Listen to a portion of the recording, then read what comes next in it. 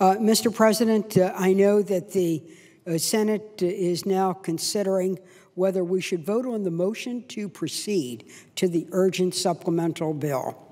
That means, under our rules of another century, we don't actually get to a bill. We debate or even have a filibuster on whether we should even move to the bill. It was designed to really cool the passions of the time so the Senate could be the greatest deliberative body in the world. However, these procedures now have been distorted that we're no longer the greatest deliberative body in the world. We're the greatest delaying body in the world.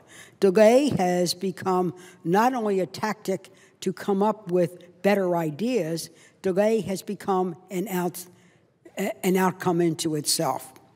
We're facing a really serious problem in our country, and I would hope we would vote on the motion to proceed so we could actually get on the legislation for the urgent supplemental funding to deal with three crises facing our country, one of which is wildfires burning in the West, in which property, communities, livelihoods are being destroyed and first responders are being exhausted.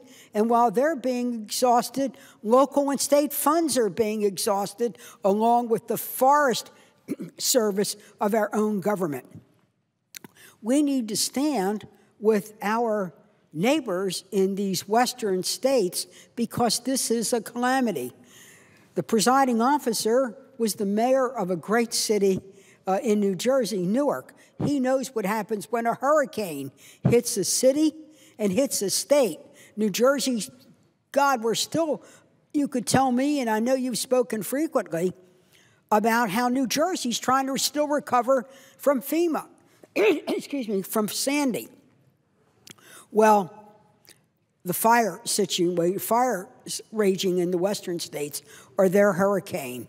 They're their tornado there, it's there, Sandy. And I would hope that we would pass the $615 million to help our own fellow citizens in the eight western states. Then we have a treasured ally that is under attack by a terrorist organization that needs to defend itself using a technology called the Iron Dome and they defend themselves by shooting interceptor rockets. It's not an offensive rocket, shoot to kill, it's shoot to defend. They're using up these rockets at an unprecedented rate, and the Secretary of, the Secretary of Defense has sent a letter to the Congress asking for 225 million to be able to replenish this. Then we have a crisis in Central America with the violence being created by the narco traffickers or the narco terrorists that is causing a surge of children coming to our country.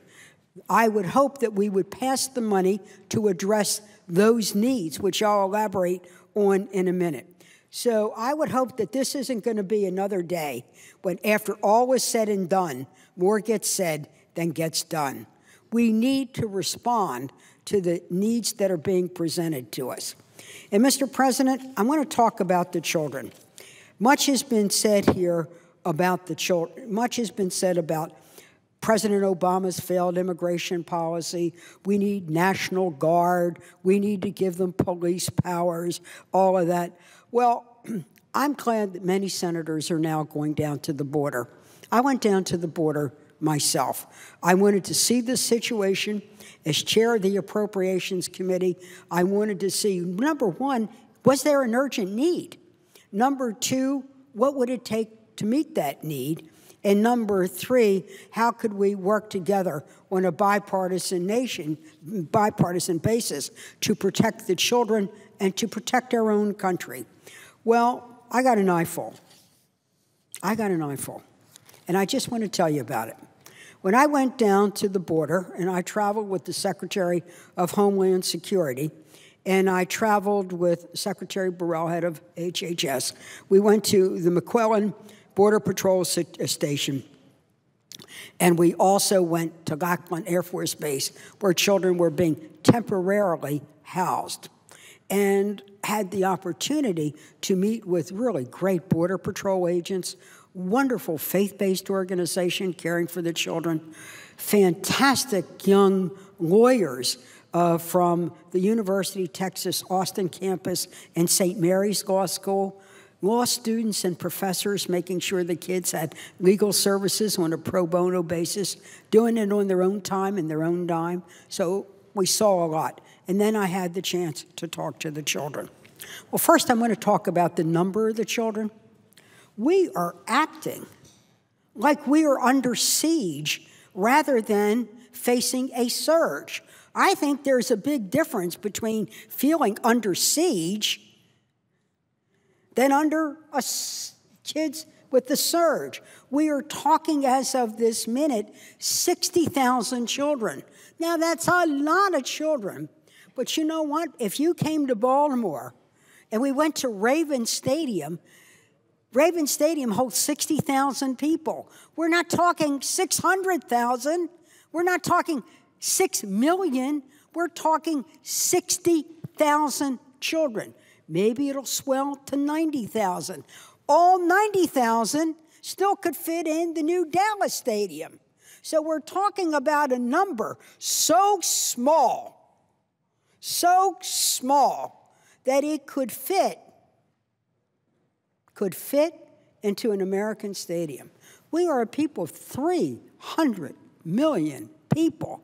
Certainly, we can deal with 60 children, 60,000 children feeling traffickers in drugs and sexual slavery.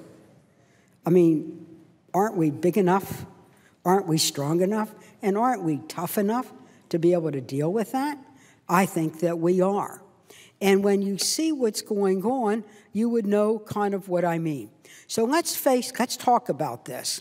So let's talk about these 60,000 children. It's literally a children's march across Guatemala, uh, Honduras, and El Salvador through Mexico and coming to the Rio Grande. They're not coming across all 1,900 miles of the border. They're coming to a specific area and they cross the river on rafts, they swim, they do what they can.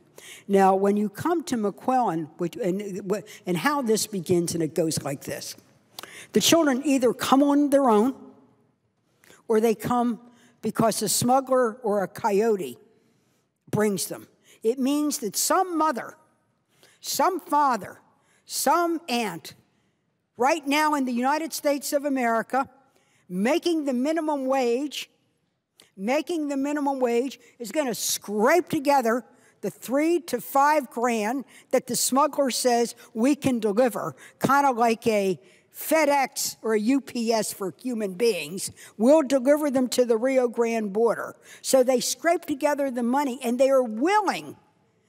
The violence is so bad that they are willing to trust a crook to be able to bring the children. They come through and they leave and they trek. They trek through a jungle. They trek through filth and dirt and danger. They stop at what they call safe houses. That's an oxymoron. There is nothing safe about a safe house where you have children with also all kinds of other people on that road where the children are taken advantage of. And I won't describe it. So, from this safe house, they finally make it to the border. Some ride a train called the Beast. This is a cargo plane. It's not a nice little lovely train that maybe goes up and down our coast from Boston to Savannah. This is a train called the Beast. The children ride the top of these trains, holding each other, clutching each other. I talked to a little girl about nine years old who told me she rode for two days and had to stay awake for 48 hours because she was afraid of falling off, where she could lose an arm, a leg, or death itself. Now, why would children risk this? Why would parents risk this? It's because of the danger, the danger, danger, danger in Central America. So we don't, we're talking about arming the border more. We need to go after arming the fight against the narco traffickers in Central America and also dealing with their insatiable, insatiable appetite for drugs that fuels this. So that's what's driving this. When they say send the children back, what are they going to send them back to? What are they going to send them back to? The ones recruiting the boys to engage in criminal activity? The girls to be recruited into human trafficking? It's not like we're going to send them back on a plane and there's going to be Juan Diaz, you know, with a yellow roses saying, Welcome back, the children of Honduras or El Salvador. They're going to go right back into the very danger that they ran from. When I went to the McAllen Border Patrol Station, this is what we call a detention facility. Now, it was designed to detain adults, underline that word, and it was designed to hold up to 300 people, usually adult, illegal immigrants trying to cross the Rio Grande. These really look like cells. C E L L S, like cells. These are cement cinder block facilities that were designed to hold 10 or 12 adults, and they hold as much as 20 or 30 children sleeping on the floor. The Border Patrol doing the very best that they can. The Border Patrol taking care of children because we can't move them to humanitarian facilities like the law requires. You talk to children who are taking turns when sleeping on, stand, sitting on a cement block to even be able to rest. Hundreds there, 20 and 30 in a room, sleeping on floors, using empty water bottles for pillows. Uh, these kind of blankets that are look like aluminum foil. These are the lucky ones. They come in from the overfill outdoor area where often the boys are in a covered area where they sleep outside and the girls, quote, and can be inside, but in these holding cells. Very limited showers, very limited hygiene. The Border Patrol doing everything they could. It's not something you're used to seeing in the United States. I know there's another CODEL going. Go, go, go, go, and go see this. I talked to a 12 year old girl. She was in charge of bringing her six year old sister. Their parents sent them to escape the gang violence.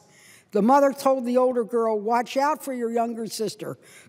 Don't let her out of your sight until you get to your America and try to get to your aunt. I talked to a 15 year old girl from Honduras. Both of her parents had been killed by gang violence. She worked in a restaurant to save enough money to pay the coyote. It took her two months to get to the United States, escaping violence along the route to get here. You're going to send her back? You're going to send the six year old back? Wow. Now, I then had the opportunity. So you just see what these conditions are. And you talk to the Border Patrol agents, they want to be law enforcement guys. And gee, are they terrific. They're really terrific. And they know that the surge at the border is being caused by the criminal activity there. They talked openly about we know who the seven, there are seven organized crime syndicates that are sparking a lot of this. They know about the false recruitment of young people, promising them a new day and a new way to get to the United States of America.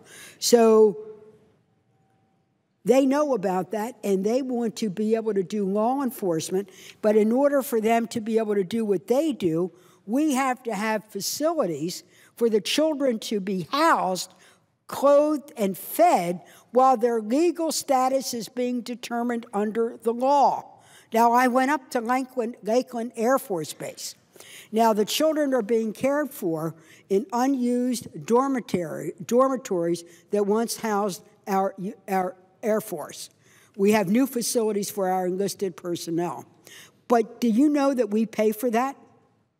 That the Department of Health and Human Services has to pay the Department of Defense to house those children. And because it's on a military base with all the rules and regs associated with that, it is the most expensive housing we can have, but it is the best housing that we have. And right now, because of this rejectionist fear that is being promulgated through our country, like somehow or the other these children pose a danger to us, uh, it is the best we can do. And I will tell you, it's a very nice facility. And I saw it being operated by a faith based organization, the Baptist Conference. Hats off to them. I speak now as a social worker, a professionally trained social worker. It was one of the most outstanding child welfare service organizations I'd seen, from the, from the nurses to the social workers to those who were trying to interview the children. They were doing a fabulous job, but they are under a contract. So, though they are a voluntary faith based organization, they're being compensated for their time and services because that's what we should be able to do. We want to be able to use groups like that all over America. What was so heartwarming to me, Mr.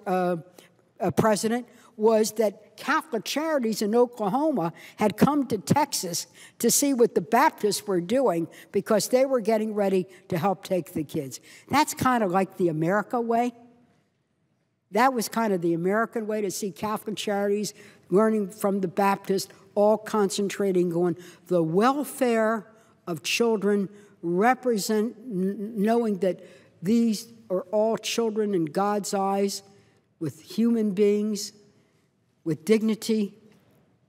And then I talked to the legal services people.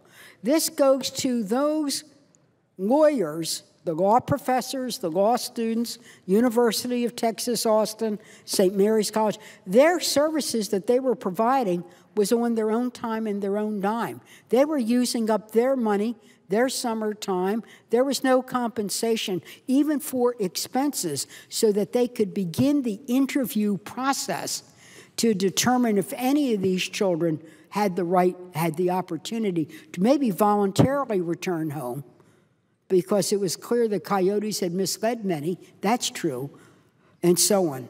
Well, they were doing that. Well, we can't keep doing this on this emergency patchwork basis. We need the urgent supplemental. Number one, to help the, the Homeland Security, law enforcement, be them. Help Health and Human Services that they need to crack this backlog and be able to place these children. Yes, their legal status, should they, are they do they have the right for refugee status to be determined? And even when you have volunteer legal services, like the outstanding work I saw in Texas, outstanding. I know you're a lawyer, you would have been proud of them. And, um, and the way they were just responding to these children. Bilingual, remember, the services have to, but there you need help, you need paralegals, you need this.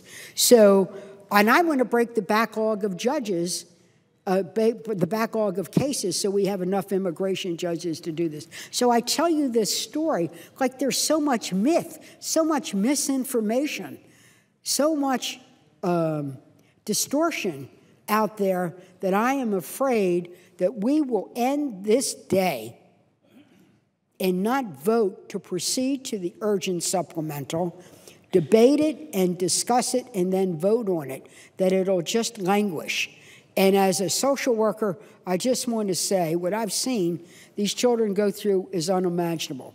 They've come here to escape violence and death. They deserve to be treated with compassion and integrity, and they deserve us to do our job. And anyone who thinks we should just deport these children without giving them every right affording them under their law should go down to McAllen and look into their eyes and listen to their stories. The time is to act now, but let's put together a comprehensive program. And I believe we can really meet this surge, deal with the real root cause, and be able to function in a way that we're all proud of. Uh, Mr. President, I yield the floor.